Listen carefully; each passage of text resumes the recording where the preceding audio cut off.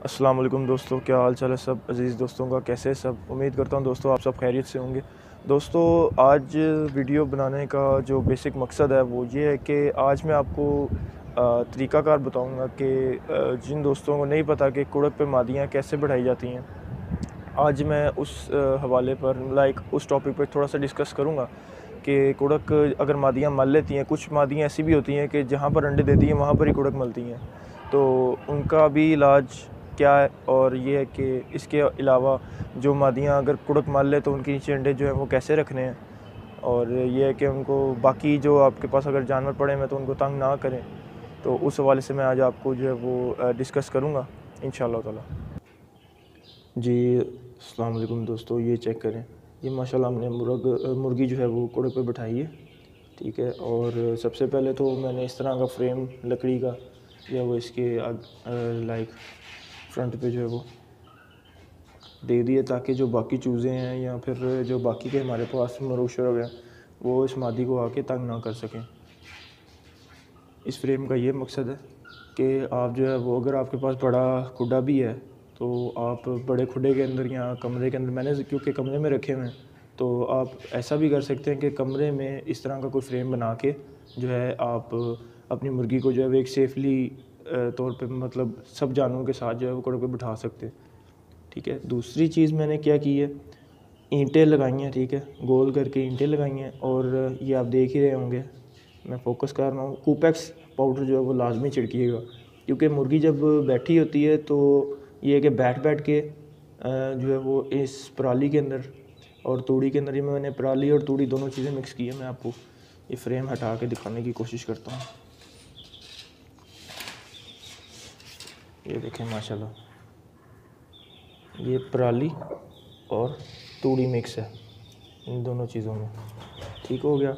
बाकी दोस्तों, ये देखें, ये कल रात को मैंने जो है वो कूपैक्स छिड़का था, ताकि मुर्गी को जो है वो किसी किस्म के जो इंसेक्ट्स वगैरह वो तंग ना करें। चूंटियाँ वगैरह और जो इनको जुएँ वगैरह पड़ जाती हैं, वो इनको तंग ना करें। बाकी माशाल्लाह से आपने इस तरह जो है वो चार से पाँच ईंटें लगा के बीच में थोड़ी तूड़ी और पराली की जो लेयर बना के उसके ऊपर आपने मुर्गी बिठा दी। ये देखें दोस्तों, माशाल्लाह, ये मुर्गी बिठाई हुई है। निशान लगाने का मकसद ये है कि अंडों पर कि ये कौन सी मुर्गी के अंडे हैं और क्या इनका तो ये देखें, माशाल्लाह।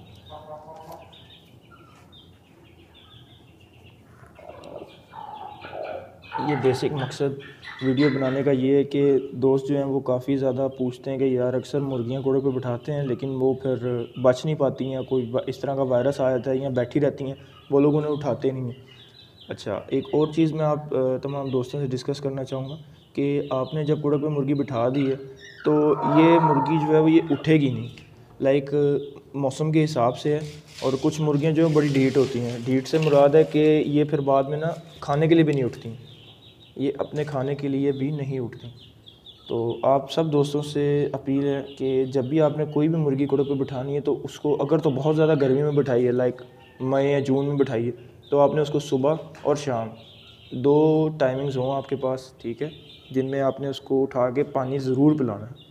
अभी तो फ़िलहाल ये माशाल्लाह बैठी हुई है तो मौसम भी बिल्कुल ओके है, और ये है कि अभी फ़िलहाल इसको इतनी पानी की ज़रूरत नहीं है। वो देखें, साथ ही इसके मुर्गी आई हुई है, जो कि वहाँ से दाना चोग रही है। लेकिन ये है कि इसको जो है वो कोई भी नुकसान नहीं पहुँचा सकती, क्योंकि ये फ्रेम जो है लकड़ी का, ये मैंने इसके साइडों पे दिया हुआ है। इस फ्रेम का ये मकसद है। तो दोस्तों और मज़ीद ये है कि अगर तो आप लाइक दाना, अगर आपने बहुत ज़्यादा गर्मी में बिठाई हुई तो दाना आपने भिगो के डालना है। भिगो के डालने से मुराद है कि आपने रात को भिगो देना जितना ये दाना खाते हैं जानवर। ठीक है? तो सुबह आपने उसको अच्छी तरह पानी से धो के मुर्गी के आगे रख देना है। इन ताला आपकी मुर्गी को कोई भी मसला नहीं होगा। कूड़े पे बैठी होगी तो। नहीं तो बाज़ ऐसा होता है कि लोग जो हैं वो कूड़े पे बैठी मुर्गियों को बिल्कुल खुश्क दाना डाल देते हैं और खुश्क दाना डालने से जो है वो अक्सर ये होता है कि उनको ज़ख़म हो जाते हैं। तो आपसे अपील है दोस्तों, आपने ऐसी गलती जो है वो नहीं दोहरानी। ठीक है? और बाकी ये कि इन ताला आपसे दुआ की भी अपील है कि हमने भी मुर्गी जो है वो घोड़े पे बैठाई हुई है तो दुआ कीजिएगा कि इसमें से माशाल्लाह चूज़े निकल आएँ, क्योंकि हमारे काफ़ी ज़्यादा दोस्त हैं जो इन चूज़ों की डिमांड भी कर रहे थे।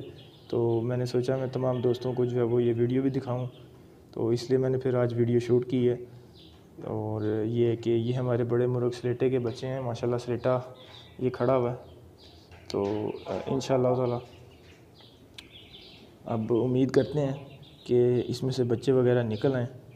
बाकी आ, कोई भी किसी भी किस्म की मेडिसिन वगैरह किसी दोस्त ने पूछनी हो या फिर किसी किस्म का मशवरा लेना हो तो आ, मेरा नंबर जो है वो मेरे पेज पर मौजूद है।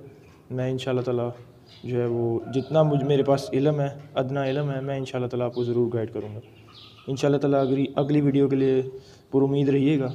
अस्सलाम वालेकुम